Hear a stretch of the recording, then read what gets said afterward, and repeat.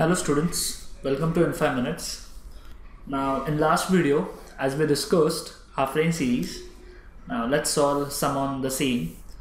We need to obtain half range cosine series for f of x equal to x in 0 to 2.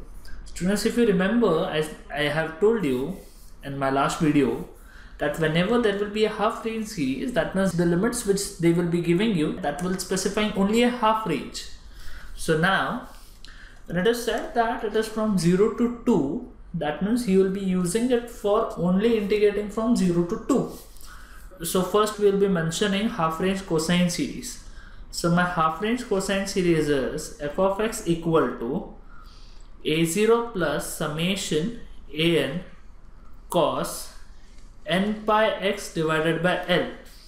Now always remember the first thing which you need to understand that we need to find value of L. Now what is exactly different in half range and the full range you'll understand now.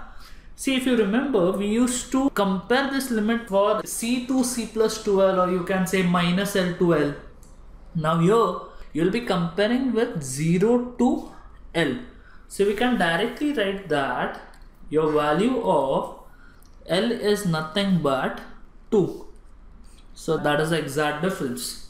So now we can say your f of x is a0 plus summation an cos of n pi x divided by your L is nothing but 2 so that is my f of x. Let's find a0 and an so I start with a0 so a0 is given by 1 by L 0 to L f of x dx.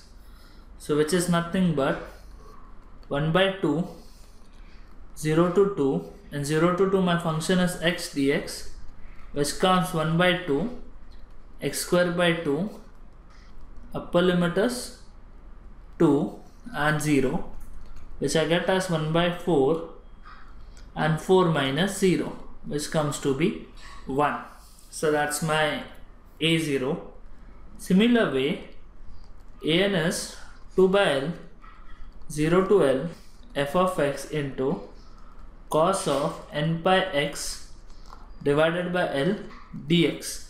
So that is 2 divided by l is nothing but 2 0 to 2 my f of x is x into cos of n pi x divided by 2 dx. So now 2 and 2 gets cancelled. Now we need to integrate this.